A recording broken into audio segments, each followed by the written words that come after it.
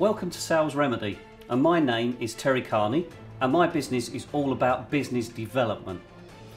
What is your marketing strategy? Do you have a plan? Here's the mistake that most businesses are making. Most businesses are limiting their marketing because they see it as a cost. Wrong.